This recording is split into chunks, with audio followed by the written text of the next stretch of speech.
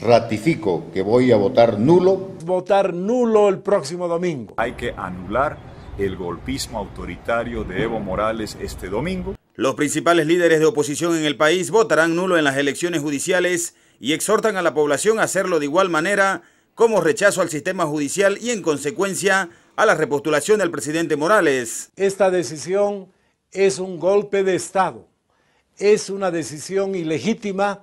El gobierno y el Tribunal Constitucional en este acto se enfrentan directamente contra la voluntad del pueblo de Bolivia. Tirano, presidente, tirano.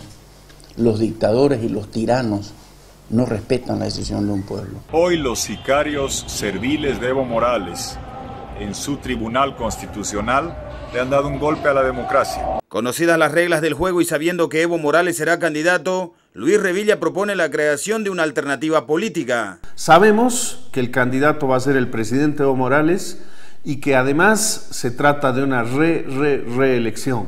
La única forma de derrotar al MAS en una futura elección es construir una alternativa política victoriosa.